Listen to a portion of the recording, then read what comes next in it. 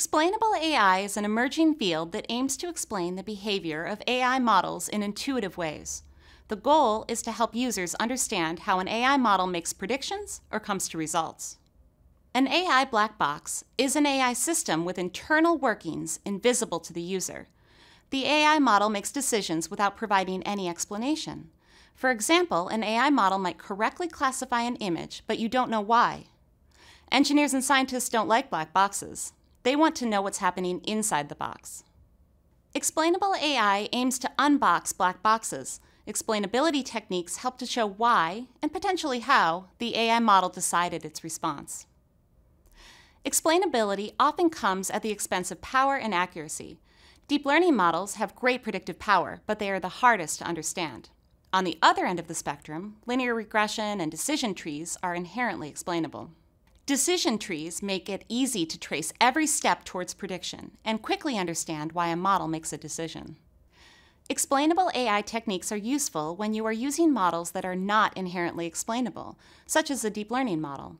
In this case, popular techniques such as GradCam, LIME, and occlusion sensitivity can be used to visualize which features of the input influence the decision of the AI model. So, explainable AI helps users gain confidence in AI decisions and can be useful when comparing the performance of multiple models. You want to choose the model that makes the right decisions for the right reasons, similar to selecting a good colleague to work with on your next project. You can observe in the explained image that the mapping of the most important features slightly differs between explainability techniques. This is because the underlying methodology is different. LIME approximates the behavior of a complex model by using a simpler, more interpretable model, such as a regression tree. The simple model is used to determine the importance of features of the input data as a proxy for the importance of features to the deep learning model. GradCam is a generalization of class activation mapping.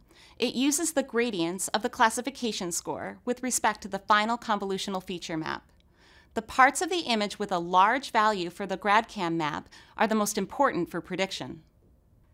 Occlusion sensitivity is a simple technique. It computes a map of the change in activation when parts of the input are occluded with a mask.